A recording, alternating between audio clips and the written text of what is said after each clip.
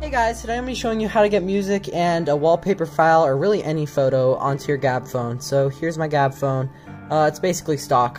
So what you wanna what you wanna gonna do? I keep saying that wrong, but you get the point.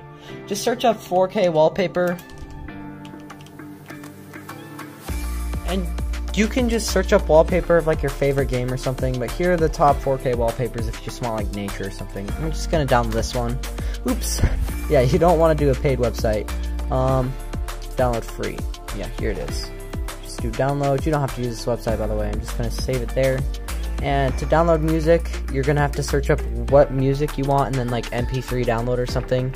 But there are a lot of sketchy websites out there, so if you if you can, just buy it off like Amazon Music or something and search up how to download it as an MP3. Um, and don't ever download like an application that you have to install to your computer to get music or even a wallpaper. So I have my music right here. It's just a Deltarune soundtrack that I bought for like seven bucks. Um, here's my wallpaper files that I want. So the first thing that you're just gonna do is just connect a USB-C cable to your PC. Um, it can just be the one that came with it. So plug that baby in. And then you're just going to want to select file transfer. Now you can see that the Gabb phone showed up on my computer. So the first thing we're going to do is just uh, select these files just by dragging over them. Right click, copy, and we're going to go to the Gabb phone and then to um, download and then paste them there. And then we can go back to the folder where all our music was. Copy the folder um, and then go back to the Gabb phone and paste it in the music fo folder. Might take a second.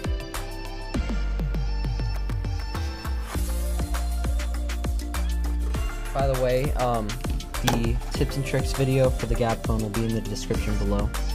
So now that you've done that, you can access your wallpaper, hold down, go to wallpaper, and allow, and my photos, and you will see the photos that were placed in the download folder. So I'm just going to do this one because I like space or something and then set wallpaper and I'll do it for both. Now my music is also there. So I'll go to music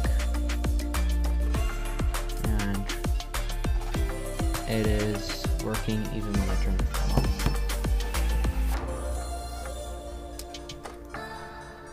And you can turn it up and down and stuff. And plug in your headphones or use it with Bluetooth. So how you're to use Bluetooth is there's a little option up here and hold down on the Bluetooth when you swipe down, pair new device, and then once your uh, device is in pairing mode, you select it here and it will start playing through the headphones. And every time you want to connect to your headphones, just go back to the Bluetooth menu and just click on the headphones while they're um, on. Anyways, thank you guys for watching. I hope you all have a great day.